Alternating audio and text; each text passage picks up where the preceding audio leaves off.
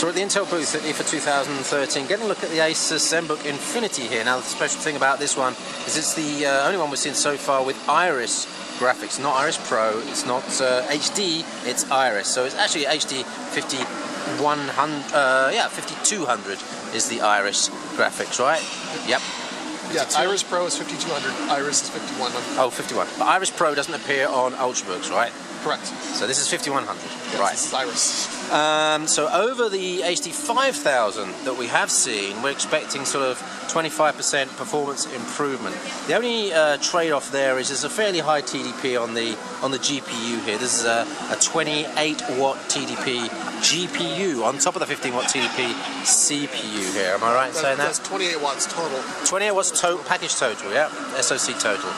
All right. So what are we playing here? Playing World of Tanks, very popular game. 50 million people have accounts. Uh, it's an MMO, so you have a team on team. You drive your tank around, right? We were just targeting other tanks. We drive this around, look at the desert that we're in here. Um, you see we have good graphics, right? This plays well. Yeah, that's pretty smooth graphics. Um,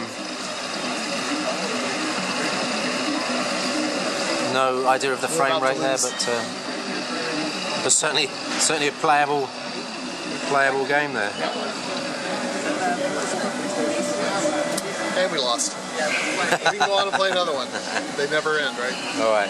So very quick uh, HD 5100 or Iris Intel Iris graphics uh, demo there on the Asus Infin Asus ZenBook Infinity.